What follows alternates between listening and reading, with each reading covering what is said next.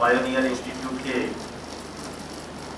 आज की इस एक बहुत ही महत्वपूर्ण सत्र में आप सभी को प्रणाम करता हूँ। मंच पर देवीय विश्वविद्यालय के वरेण्य कुलपति श्रद्धे डॉक्टर नरेंद्र धनखड़ जी भी उपस्थित हैं प्रबंधन के क्षेत्र में एक बड़ा नाम आदरणीय अनिल दुपड़ जी व्यस्तता के कारण भी प्रस्थान किया है। श्रद्धे जैन साहब संपूर्ण जीवन शिक्षा जगत में जिन्होंने अपना होम किया है सोनकच्छ से हमारे मध्य बढ़ा रहे हैं। और अपने इस पायोनियर इंस्टीट्यूट को लगातार जिनका मार्गदर्शन प्राप्त होता रहता है श्रद्धे जैन साहब। तरुण पीढ़ी को भी उन्होंने तैयार किया है। जवाहर प्रशांत जी भी यहाँ पर उपस्थित है, मोना मैडम। और सभी उपस्थित शिक्षक वृंद और आत्मीय प्रतिभागी बंधु के थोड़ा सा एक पंच लाइन आपको याद आ रही होगी, ज़ोर का झटका धीरे से लगे। ये शायद बोलूँगा तो ऐसा कुछ ज़ोर का झटका धीरे से ही लगेगा, लेकिन भाषा की दृष्टि से थोड़ा आपको अटपटा लग सकता है। क्योंकि मैं अपने पूरे उद्बोधन में अंग्रेज़ी के शब्दों का प्रयोग तो करूँगा, लेकिन उन स्थानों पर करूँगा जहाँ पर मुझे लगेगा कि आपको समझने में कठिनाई आ सकती है। इसलिए पूरा संभाषण हिंदी में होगा आप सब समझने का प्रयास करके मेरे साथ इस यात्रा को संपन्न करेंगे ऐसी अपेक्षा रखता हूँ। मित्रों, आज एक बहुत ही महत्वपूर्ण विषय पर हम सब लोग यहाँ विमर्श के लिए एकत्र हुए विषय महत्वपूर्ण इसलिए भी हो जाता है क्योंकि उसकी समस्याओं के संदर्भ में श्रद्धेय धाकड़ जी ने हम सबको सबसे पहले उद्बोधन का अवगत कराया। उसके कारण से संपूर्ण समाज में जिस प्रकार की विकृतियाँ हम सब लोग देख रहे हैं ऐसी स्थिति में हम सबको लगता है कि वास्तव में शिक्षा का जो संपूर्ण परिदृश्य है, यह जो शिक्षण पद्धति है, इस शिक्षण पद्धति के पुनर्नवीनीकरण की आवश्यकता है। बहुत महत्वपूर्ण विषय है। और मुझे लगता है कि पायोनियर इंस्टीट्यूट ने केवल प्रश्न खड़े नहीं किए सेमिनार के माध्यम से, बल्कि समाधान भी प्रस्तुत किए। उन्होंने कहा कि यह पुनर्नवीनीकरण करेंगे तो लेकिन किस माध्यम से? तो उन्होंने दो समाधान हमको सुझा दिए इनोवेशन हम जब तक उपलब्धियाँ और नवाचार इन दो शब्दों से परिचित नहीं होते, तब तक किसी समस्या का समाधान प्राप्त नहीं कर सकते। केवल समस्याओं का ढिंडोरा पीटते रहना ये पर्याप्त नहीं होता है। समाधान की ओर बढ़ना ये ज़्यादा आवश्यक है। और इसलिए मुझे लगता है कि सबसे पहले हम समस्या को पहचानने का प्रयास करें। जिस शिक्षा पद्धति के संदर्भ में हम बात कर रहे हैं सबसे पहला प्रश्न मैं आपसे करना चाहता हूँ कि हम में से कितने लोगों को ध्यान में है कि शिक्षा का उद्देश्य क्या होता है? हम जिस शिक्षा को प्राप्त करना चाहते हैं, आखिरकार उसका उद्देश्य क्या है? तो मुझे याद आते हैं, बहुत प्रसिद्ध चिंतक विचारक हुए हो, वे शेषाद्री शेषाद्री जी का एक लेख में पढ़ रहा था, उसमें उन्होंने लिखा कि भारत वर्ष के तरुण अथवा युवा से आप बातचीत करते हुए पाँच या छह बार क्यों का प्रश्न करिए भारत का युवा निरुत्तर हो जाता है। मुझे आश्चर्य लगा। अभी बात हो रही थी गूगल गुरु के शरण में रहने वाले हम सब लोग, नई पीढ़ी के लोग। चार पाँच क्यों तो छोड़िए, चार पाँच हज़ार क्यों पूछ लीजिए, हम सबका उत्तर दे देते मोबाइल पर सर्च करके। लेकिन उन्होंने जब उल्लेख किया उस घटनाक्रम का तो मुझे भी ध्यान में आया, आप सबको भी याद दिलाता हूँ वही घटनाक्रम। शेषाद्री जी ने कहा कि मैं ट्रेन में यात्रा कर रहा था, एक तरुण युवा मेरे साथ बैठा हुआ था। मैंने कहा, भाई, क्या कर रहे हो? क्या पढ़ाई कर रहा हूँ. अच्छा पढ़ाई क्यों कर रहे हो? हंसने लगा, पढ़ाई क्यों करते हैं? बहुत अच्छी नौकरी प्राप्त कर रहे हैं. अच्छा बहुत अच्छी नौकरी क्यों करना चाहते हो? साहब, ये आपको नहीं पता है कि बहुत अच्छी नौकरी इसलिए करना चाहता हूँ क्योंकि बहुत सारा पैसा कमाने की इच्छा है। अच्छा बहुत सारा पैसा क्यों कमाना चाहते हो? उसने कहा, साहब, बड़ी गाड़ी लूँगा, बड़ा बंगला लूँगा, शादी करूँगा, बच्चों को बहुत अच्छी पढ़ाई करूँगा कुल मिलाकर एक शब्द उसने कहा, ऐश करूँगा उन्होंने कहा अच्छा ऐश क्यों करना चाहते हो? और अब उस तरुण के पास कोई उत्तर नहीं। हम सब विचार करें, आत्ममंथन करें कि क्या वास्तव में उस युवा जैसी स्थिति हम सब लोगों की तो नहीं है। इसका मूल कारण क्या है? इसके मूल कारण को जब हम मंथन करते हैं तो हमारे ध्यान में आता है, मूल कारण वही है जिस विषय पर हम सब बातचीत करते हैं। शिक्षा का उद्देश्य हमको पता नहीं है। और हमारे पुराणों में धर्म ग्रंथों में, संस्कृत वांग्मय में यह बहुत स्पष्ट कहा गया है। हमारे शिक्षा का उद्देश्य क्या कहा गया है? कहा जाता है, सा विद्या या विमुक्त इसका अर्थ भी बताऊँगा, चिंता मत करना। विद्या या शिक्षा वो जो मुक्ति प्रदान करे।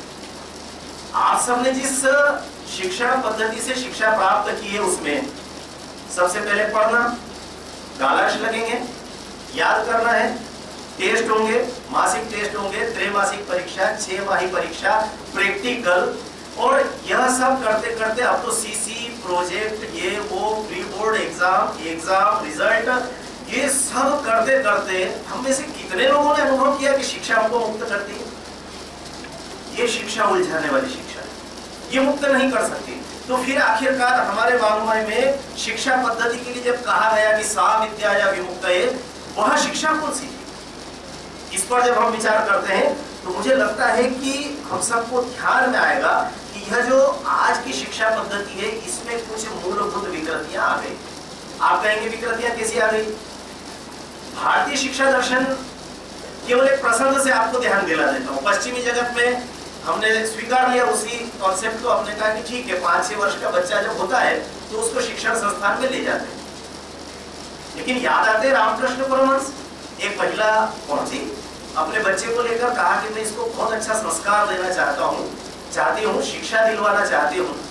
आप बताएँ, सही समय कब आएगा? रामकृष्ण परमहंस ने कहा, संतान कब पैदा होने वाली है? उन्होंने कहा किसी बात करते हैं? मेरी, मेरा जो संतान है, मेरी संतान है, मेरा बेटा वो तो पाँच वर्ष का है। उन्होंने कहा, बेटी, तुम छह वर्ष लेट हो गई छह वर्ष विलंब से मेरे पास पहुँचे। ये भारतीय शिक्षा पद्धति का मूलभूत तत्व है। जिस समय गर्भाधान संस्कार के माध्यम से संतति गर्भ में आती है, तब से उसकी शिक्षा प्रारंभ होती है। अभिमन्यु का नाम लेने की आवश्यकता है? लेकिन हम सबको ध्यान रहना चाहिए कि हमारी जो शिक्षा पद्धति है, यह केवल कोरा ज्ञान नहीं था, यह अनुभूत नुस्खे थे, जिसके माध्यम से यह संपूर्ण समाज, ये जो पुरानी पीढ़ी बैठी है ना डॉक्टर साहब की, जैन साहब की इस पीढ़ी ने जिस शिक्षा को प्राप्त किया, वास्तव में उस शिक्षा का शतांश भी हम लोग प्राप्त नहीं कर रहे नई पीढ़ी के लोग। और वो शिक्षा इन्होंने कहाँ से प्राप्त की थी? किताबों से अपने जीवन में अपने माता पिता से दादा दादी से, अपने संपूर्ण परिवार से, संयुक्त परिवार होते थे उस समय, आजकल एकल परिवार है, न्यूक्लियर फैमिली आजकल होने लगी। ऐसी स्थिति में हमको कई बार लगता है कि हम किस दिशा में जा रहे हैं? पश्चिम को हमने आदर्श को बना लिया। आप में से अगर एजुकेशन से जुड़े हुए कुछ लोग हों तो मैं पूछना चाहता हूँ, प्रारंभिक शिशु शिक्षा की जब हम बात करते हैं, उस शिशु शिक्षा में दो सबसे महत्वपूर्ण शिक्षा पद्धतियाँ कौन सी अपने भारत की बता सकते हैं कोई? ज़्यादा समय ना लगे, इसलिए मैं बता देता हूँ। पहली कहलाती है किंडर गार्डन पद्धति, और दूसरी कहलाती है मॉन्टेसरी पद्धति। अभी श्रद्धे दुपर साहब कह रहे थे कि गूगल करना नहीं आता। आप आज ही घर जाकर के गूगल करके देखिए, संपूर्ण विश्व में इन दोनों शिक्षण पद्धतियों का उत्स कहा मिलता है? कब ये प्रारंभ हुई? आपको जानकर आश्चर्य होगा कि ये दोनों नर्सेस क्षमा चाहता हूँ ऐसे शब्द प्रयोग कर रहा हूँ। इन दोनों नर्सेस ने मिल करके इस शिक्षा पद्धति को प्रारंभ किया था पश्चिम जगत के उन बच्चों के लिए जो ईश्वर के वरदान को ठीक से प्राप्त नहीं कर पाए और जन्म से अल्प बुद्धि या मंद बुद्धि रह गए। कर लेना गूगल आपको ध्यान में आएगा। इन दोनों शिक्षा पद्धतियों से हमने अपने ब्रिलियंट बच्चे प्रतिभा संपन्न बच्चे, उन सबकी शिक्षण प्रारंभ कर क्यों? पश्चिम का जगत कर रहा है। तो भाई, पश्चिम का जगत किन बच्चों के लिए कर रहा था? आपके बच्चे उस स्तर के हैं क्या?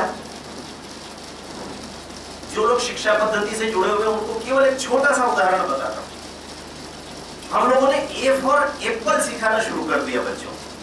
हमने कभी यह बताने का प्रयास किया क्या बच्चों को कि एक फल दिखाया हमने, ये अनानास है, इसकी स्पेलिंग लिखी है। उसमें एप्पल भी होगा, उसकी स्पेलिंग लिखी हुई है।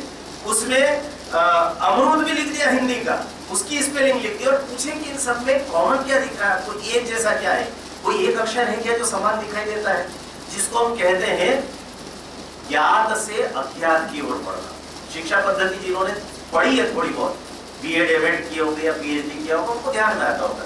इस पद्धति से आपने कभी ए से परिचय बच्चों का कराया क्या? नहीं कराया। अब बच्चा एप्पल को जानता है ए को कब जानता है? रट रहे हैं, रट रहे हैं, रट रहे हैं कौन हमारा लगातार चलता जा रहा है और इसके कारण से जो विकृतियाँ वास्तव में पैदा हो रही है वो जो दो तरह की पद्धतियों को हमने अंगीकार कर लिया, और इसके कारण से जो गड़बड़ियाँ पैदा हुई, वो चिंता ठाकर साहब गलत नहीं कर रहे थे। आज के युग की ये बुज़ुर्ग कहते हैं ना कि जिस उम्र में हमारी पीढ़ी के लोगों के दूध के दांत नहीं टूटते थे, उस उम्र में आज की पीढ़ी के बच्चों के दिल टूट रहे ये परिवर्तन आ गया समाज में, और ये क्यों आया है? इसका मूल कारण शिक्षा पद्धति का परिवर्तन। और इसलिए इन सब बातों पर हम सबको चिंतन करना पड़ेगा। समस्या क्या आ गई है? हमने पश्चिम से एक और मापदंड ले लिया। हमने कहा कि विद्वान कौन जिसका आईक्यू बहुत अच्छा होता है इंटेलिजेंस क्वेश्चन भाई, ये आईक्यू क्या दुनिया का इकलौता मापदंड है किसी व्यक्ति के व्यक्तित्व का मापन करने का? हमारा भारतवर्ष प्रारंभ से किसी व्यक्ति के व्यक्तित्व को श्रेष्ठ तब मानता था जब उसका ईक्यू श्रेष्ठ होता था इमोशनल क्वेश्चन वह समाज के प्रति, परिवार के प्रति, अपने संपूर्ण राष्ट्र के प्रति कितना संवेदनशील है, इस बात से तय होता था कि ये व्यक्ति कितना श्रेष्ठ है।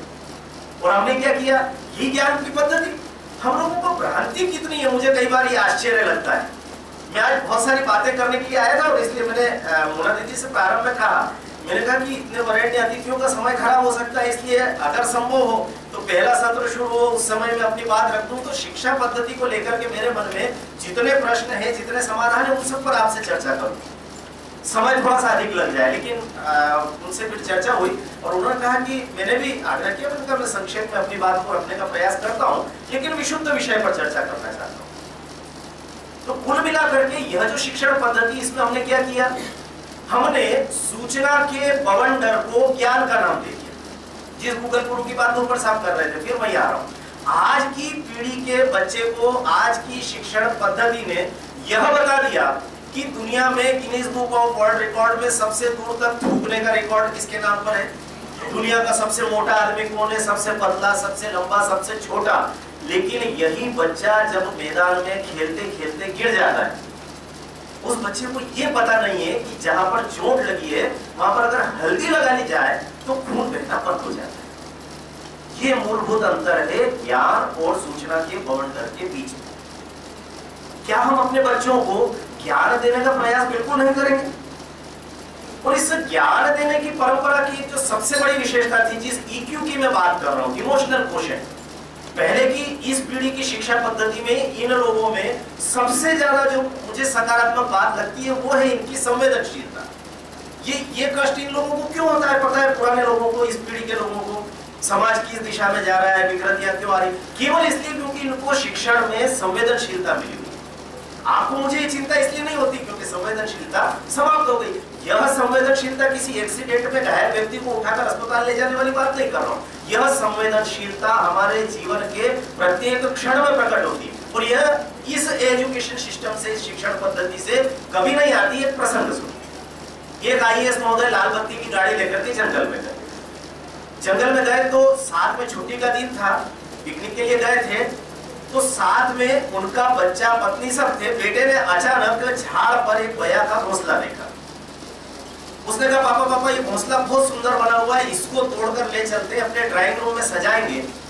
तो अपने ड्राइंग रूम में ये बहुत अच्छा लगेगा कलेक्टर साहब ने तुरंत गाड़ी रुकवा दी, ड्राइवर से कहा, जाकर के घोंसला तोड़ करके लाओ ड्राइवर बेचारा उम्र में थोड़ा अधिक था, शरीर थोड़ा स्थूल था, पेड़ पर चढ़ नहीं सकता था, उसने इशारे से एक गड़रिए बालक को जो वहाँ बकरियाँ चरा रहा था बुला लिया। उसने कहा, ए लड़के, सुनो, एक काम करो, पेड़ पर चढ़ सकते हो? कहा हाँ सर, पूरी ज़िंदगी पेड़ पर चढ़ते बिताइए गाँव का बच्चा हूँ, अनपढ़ हूँ, बकरिया चराता हूँ, इसलिए पेड़ पर चढ़ना तो आता है। कहा, जाओ, चढ़ करके वो घोसला तोड़ करके मुझे दे दो, भैया का जो घोसला है। उसने कहा, नहीं, मैं नहीं दे सकता।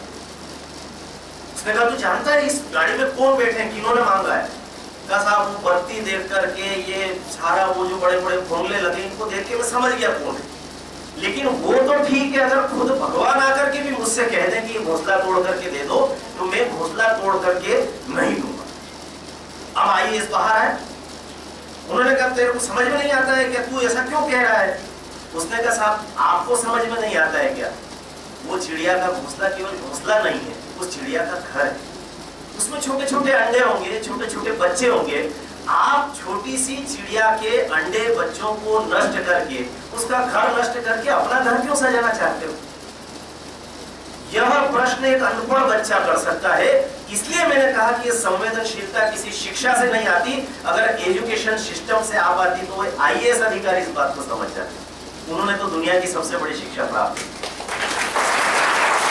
इसलिए मित्रों, कई बार मुझे लगता है कि आज की शिक्षण पद्धति में हम लोगों ने, मुझे आश्चर्य होता है, हमारे बच्चे हिंदी ठीक से बोल नहीं पाते, उनको ऑप्शनल लैंग्वेज पढ़ रहा है जर्मन या फ्रेंच में से तय कर रहे हैं, कोई मंदारिन पढ़ रहे हैं। हमारी मातृभाषा में धाकड़ साहब के शब्दों का प्रयोग करो तो बोलना, पढ़ना, लिखना, समझना और समझाना हमको आता नहीं है। और हम चले हैं सीखने के लिए फ्रेंच और जर्मन मुझे कई बार बड़ा आश्चर्य लगता है कि इस शिक्षण पद्धति के बच्चे थर्मोपाइल युद्ध क्या है उनको पता है। लेकिन मैं अक्सर पूछता हूँ, अगर आपसे पूछ लू तो नीचे गर्दन मत करना। पावन खिंड दर्रा कितने लोगों को पता है? नहीं पता। शिवाजी महाराज ने जहाँ पर घेर कर पूरी चार गुना बड़ी मुगल सेना को समूल नष्ट कर दिया था, केवल गिने चुने पचास सैनिकों के साथ। नहीं पता पावन खिंड दर्रा। थर्मोपाइल युद्ध है। किस दिशा में जा रही है हमारी पीढ़ी और किस दिशा में जा रहा है हमारा यह शिक्षा पद्धति का कारवा हमको समझना पड़ेगा। और इसलिए कई बार मुझे लगता है कि इस इन सब चीज़ों में थोड़े थोड़े परिवर्तन की आवश्यकता है। देश, काल, परिस्थिति के अनुसार शिक्षा को युगानुकूल बनाना, ये बहुत आवश्यक है। हमारे घर में हमारा बच्चा थोड़ा सा अंग्रेज़ी सीख गया तो हम क्या करते हैं? जैसे ही हमारे परिचित आते हैं, मेहमान आते हैं तो हम कहते बेटे, पोयम सुनाओ। और बच्चा झट शुरू हो जाता है, rain rain go away, come again another day हम सब तालियाँ बजाते हैं। ये तालियाँ हम अपनी संस्कृति पर बजाते हमको शर्मिंदा होना चाहिए, हम किस देश के रहने वाले लोग हैं? आप कल्पना करिए, ब्रिटेन में रहने वाले एक रचनाकार ने बच्चे के मनोभाव को प्रकट करने के लिए बालिक लिख दिया। रेन रेन को अवे, क्यों लिखा? अरे भाई, वहाँ का बच्चा 12 महीने में से 9-10 महीने बर्फ़ की बारिश जो होती है, उससे परेशान है। स्कूल नहीं जा पाता, मैदान में खेलने नहीं जा पाता। इतना तक कि वो अपने घर की खिड़की तक नहीं खोल पाता। धूल पत्ते तितली कुछ नहीं देख पाता, इसलिए वो बारिश से छिड़ता है, उसको नफरत है। और इसलिए वो कहता है कि अगर बारिश आई तो कहता है, rain rain go away come again मैं ना दर्दे तू चली जाए वर्षा किसी और दिन आना। लेकिन हमारे यहाँ क्या होता है? हमारे यहाँ पर जैसे ही बारिश की पहली बूंदे आती है, जैन साहब और धाकर साहब और धूपर साहब की पीढ़ी के लोगों को आज भी आँखों में वो चित्र दिया जाता होगा जब हमारे घर की दादी, नानी, माँ छोटे से नवजात शिशु को साल, दो साल, तीन साल के बच्चे को कहते थे, सारे कपड़े उतार देते थे, नंग धड़म करके उसके कहते थे, बेटा जब बाहर बरामदे में जाकर के बारिश की पहली फुहारों में नहा ले तो साल भर स्वस्थ रहेगा। और वो बच्चा जब नंग धड़म होकर के, हमें से कई लोगों को यह अनुभव प्राप्त हुआ होगा बचपन में। जब जाकर के बरामदे में दोनों हाथ ऊपर करके नाचता था तो क्या कहता था पानी बाबा आना, ककड़ी भुट्टे ला ये संस्कृति और संस्कार है मित्रों। तो इसलिए एजुकेशन सिस्टम की जब हम बात करते हैं, इसके पुनर्नवीनीकरण की जब चर्चा करते हैं तो उनको समझना पड़ेगा कि हमारी भाषा के साथ हमारा संस्कार, हमारी संस्कृति भी चाहिए और इसलिए जब बात होती है, मैं कई बार जीवन मूल्यों की चर्चा करता हूँ, और चूँकि बाल साहित्य का विद्यार्थी हूँ, बाल पत्रकारिता में 25 वर्ष बीते हैं, बाल मनोविज्ञान थोड़ा बहुत पढ़ता हूँ मुझे कई बार आश्चर्य लगता है कि पश्चिमी जगत ने हमको कुछ मुहावरे दिए और उन मुहावरों को हमने वैसा का वैसा अंगीकार कर लिया। कैसे अंगीकार कर लिया? आज की शिक्षा पद्धति के कुछ मुहावरे आपको बताता हूँ, आप सब सहमत हो हिंसा बुरी होती है, अहिंसा अच्छी होती है। बताना कितने लोगों ने पढ़ा है? हिंसा बुरी होती है और अहिंसा अच्छी होती है। सबने पढ़ा है। संकोच में आँख खड़ा नहीं कर रहे, मालूम है कि ये तो पता नहीं, उल्टा सीधा चलने वाला आदमी है। पटरी में बिल्कुल चल ही नहीं रहा है, पता नहीं कहाँ कहाँ की बातें कर रहा है। इसलिए हाथ खड़ा करने में डर है। क्यों? हम कहते हैं अहिंसा परमो धर्म। हमारे धर्म ग्रंथों ने कहा, लेकिन अधूरा कहा। उस श्लोक को कभी हमने पूरा पढ़ा है क्या? अहिंसा परमो धर्म धर्म हिंसा तथेव ये दूसरा पद है उसका। अब ये धर्म हिंसा तथेव क्या है? ये हमारे शिक्षण पद्धति का हिस्सा था। अगर आप अहिंसा को मान्यता देकर हिंसा को सदैव के लिए शिक्षा पद्धति से त्याज कर देंगे तो आपकी शिक्षा पद्धति से राम गायब हो जाएँगे, कृष्ण गायब हो जाएँगे, भगत सिंह गायब हो जाएँगे, चंद्रशेखर आज़ाद गायब हो जाएँगे। और वो बारह तेरह साल का खुदीराम बोस भी गायब हो जाएगा, जिसने किंग्स फोर्ड की बग्घी पर बम फेंका मित्रों, हिंसा कभी पूरी नहीं होती, और इसलिए भारतीय दर्शन ने एक बहुत सुंदर शब्द दिया। ये केवल हमारे यहाँ सात्विक हिंसा। सात्विक हिंसा का प्रयोग करना कभी भी खराब नहीं होता। इस बात को हम सब लोगों ने स्वीकार। हम कहते क्रोध बुरा होता है। क्रोध को संस्कृत में कहते हैं मन्यु। लेकिन हमारे शिक्षा दर्शन ने हमको क्या सिखाया? अगर हमारे स्वाभिमान की रक्षा के लिए, हमारे अभिमान की रक्षा के लिए, हमारी संस्कृति के अभिमान की रक्षा के लिए, हमारे संपूर्ण राष्ट्र के अभिमान की रक्षा के लिए जिस मन्यु का प्रकटीकरण होता है जिस क्रोध को प्रकट किया जाता है उसको हम कहते हैं अभिमन्यु। आप बताइए कितने माता पिता नहीं चाहते कि हमारी संतान अभिमन्यु अगर क्रोध बुरा है मन्यु बुरा है तो अभिमन्यु हमारी कहानियों का नायक हीरो क्यों बनकर के उभरा इसलिए हमको समझना पड़ेगा कि आज के युग में अभी आ, मैं निश्चित रूप से बातें बहुत सारी थी लेकिन मैं संक्षेप में अपनी बात को विराम की ओर ले जाते हुए इतना और अवश्य कहना चाहूँगा, जिस चिंता को धाका साहब ने अभी व्यक्त किया। मुझे अब्दुल कलाम साहब के शब्द याद आ रहे थे जब धाकर साहब बोल रहे थे। क्योंकि धाकर साहब ने जो चिंता व्यक्त की, ठीक वही चिंता डॉक्टर एपीजे अब्दुल कलाम ने भी व्यक्त की। कलाम साहब ने पाँच दुर्गुण इस राष्ट्र के बताए। विजन 2020 आप लोगों ने पढ़ा होगा। 2020 उस पुस्तक में आप देखेंगे कि कलाम साहब कहते हैं कि इस राष्ट्र की अवनति के पाँच प्रमुख कारण हैं। मैं अभी पाँचों की बात नहीं कर रहा, समय कम है। लेकिन एक की बात करना चाहता हूँ, जिसका उल्लेख धाकर साहब ने किया आज का युवा वैयक्तिक सुरक्षा के प्रति अत्यधिक संवेदनशील हो गया है। मेरी पढ़ाई, मेरी नौकरी, मेरा पैकेज मुझे कभी कभी समझ में नहीं आता है कि आज का तरुण यह सब कुछ कर लेगा तो ऐसा कौन सा तीर मार लेगा? आप पाँच लाख, दस लाख का पैकेज प्राप्त कर लेंगे। दुर्भाग्य से आज के तरुणों को, आज की पीढ़ी को, आज की शिक्षण पद्धति ने सबसे गंदी और सबसे बुरी बात जो सिखाई है, वो बात सिखाई है अर्थ के बिना व्यर्थ ये भारत का दर्शन बिल्कुल नहीं है। दादर साहब तो जैन है, अपने पीके जैन साहब भी जैन दर्शन से आते हैं। अपरिग्रह का दर्शन महावीर ने इस राष्ट्र को दिया है। उस अपरिग्रह के देश में हम लोग हाय पैसा हाय पैसा कर रहे हैं। यह अपनी शिक्षा पद्धति का सबसे बड़ा दोष है। मैं आपसे कुछ प्रश्न करना चाहता हूँ।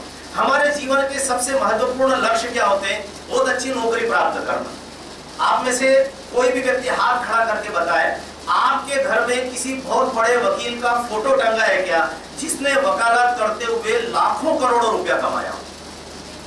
आपके घर में किसी डॉक्टर का फ़ोटो टंगा है क्या, जिसने लाखों करोड़ों रुपए कमाए, बहुत बड़े बड़े नर्सिंग होम खोले? नहीं टंगा है आपके घर में सबसे बड़ी नौकरी जिसको आप मानते हैं, प्रशासनिक सेवा।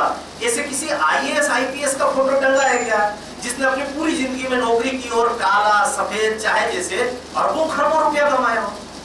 किसी के घर में नहीं टंगा है। अब मैं कुछ नाम लेता हूँ, आप कहेंगे कि हाँ हमारे घर में फ़ोटो टंगे। दो वकीलों के नाम बताता हूँ। पहले वकील, जिन्होंने भारत की स्वतंत्रता की रक्षा के लिए लड़ाई लड़ते हुए विश्व कीर्तिमान बनाते हुए अपने एक ही मनुष्य जीवन में दो आजीवन कारावास की सजा प्राप्त की। उनका नाम है वीर विनायक दामोदर सावरकर। हमारे घर में उन वकील साहब के चित्र टंगे रहते दीवारों पर। हमारे घर में एक और वकील के चित्र टंगे रहते हैं, जिनका नाम है मोहनदास करमचंद गांधी। दोनों ने इंग्लैंड से बैरिस्टरी की, लेकिन प्रैक्टिस नहीं की। क्या किया? अपना संपूर्ण जीवन राष्ट्र के लिए समर्पित कर दिया। दोनों के फ़ोटो अपने दीवार पर डाले। डॉक्टर हेडगेवार केशव राव बलिराम हेडगेवार। वहाँ पर कलकत्ता के मेडिकल कॉलेज से एमबीबीएस की डिग्री प्राप्त की। नागपुर से डिग्री प्राप्त करके वापस लौटे, लेकिन चिंता ये हुई, मनुष्य के शरीर के रोग का उपचार तो कर दूँगा, लेकिन इस राष्ट्र देवता, समाज देवता के शरीर में जितने रोग है, उनका उपचार कौन करेगा? पूरा जीवन विवाह नहीं करूँगा, ऐसा ठान लिया। समाज देवता और राष्ट्र देवता की सेवा में संपूर्ण जीवन अर्पित कर दिया।